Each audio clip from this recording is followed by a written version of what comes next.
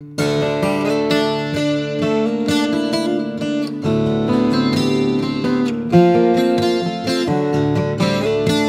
welcome back. We're at Exodus chapter 4, verses 24 to 26. And this is a section that a lot of people look at this and they kind of wiggle their eyes and they scratch their head and they go, What's that doing there? This is a story that many commentaries disagree on. A lot of people really can't figure out what this is about.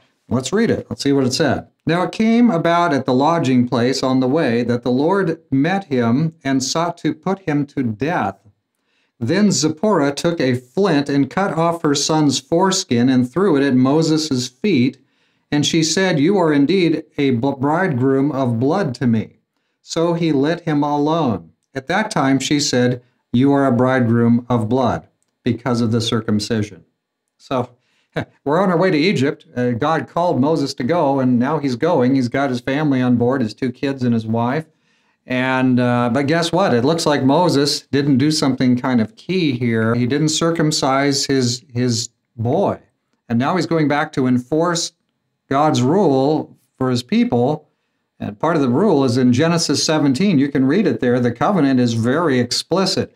The, the, the males have to be circumcised. If they're not circumcised, they're cut off from God's people. So this is kind of like a death sentence. You've, you've got to be circumcised at this time, in this place, in this situation. This was kind of an absolute. This was non negotiable. But Moses hadn't done it. And it's kind of interesting because God is sending Moses out on this mission, this mission to, he's the main human agent to deliver Israel from oppression. But Mo, everything in Moses' life is not completely in order. And I hope you're noticing that.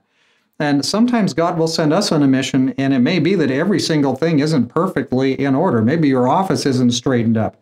Maybe your your your car isn't all cleaned up.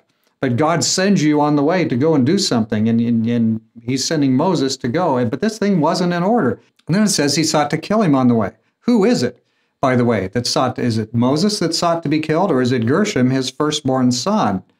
Now, he's just threatening to kill the firstborn son of Egypt, so that's kind of an interesting piece in there. But but the text says he here. It's not explicit about who it is. Different commentators have different thoughts about this. And while we don't know absolutely in an absolute sense, what we do know is this: God is demanding that that this child be circumcised. Moses hasn't really done what he was supposed to do. Moses is telling on himself right here. It's kind of interesting. You know, the Bible doesn't cover this stuff up. Like go read the go read the Quran or something else and see see how many mistakes Muhammad makes. But in the Bible, the mistakes that the main protagonists, uh, the main people, the main characters in the story that are real people, the mistakes they make are are real and they're included. You know, the warts and all. And so that's what you've got going on here. Is uh, Moses is telling on himself. There's something he didn't do. Now, there's another interesting parallel here with with Balaam and the donkey. Do you remember that story up there in Numbers 22 or so? And so Balaam's on his way. He's he's they're bribing him with money. He's going to go and pronounce a curse over Israel. He was a true prophet of God. He, he apostatizes, and he was on his way to collect the money. He was on his way to do it to curse Israel. And on the way, remember the the donkey? He started going in the wrong direction, and Balaam starts beating his donkey. And what it was, it was the angel of the Lord was standing in the way to kill him. And so the donkey saved Balaam from his own rash behavior. Here we have Zipporah, the wife of Moses.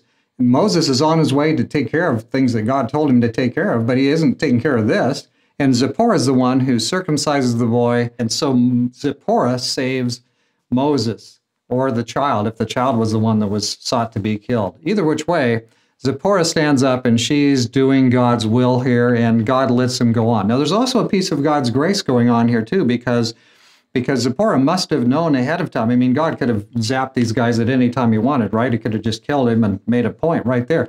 But somehow Zipporah uh, knows ahead of time she's got to do it, and it, Moses hasn't done it, and so she takes up and she does the circumcising, and so yeah, so she uh, there's some grace here involved because she knows to take care of it. She addresses it, and God says, okay, I'm okay with that. It's all settled now. And you know, God is for us. He's always for us. But a lot of times, he, you know, He's 100% for us. A lot of times, we're kind of only half heartedly for Him. So we need to put everything in order. And Moses did not have everything in order, but thankfully, Zipporah set it in order, and uh, the day was saved. It shows us that God cares about things that He's commanded.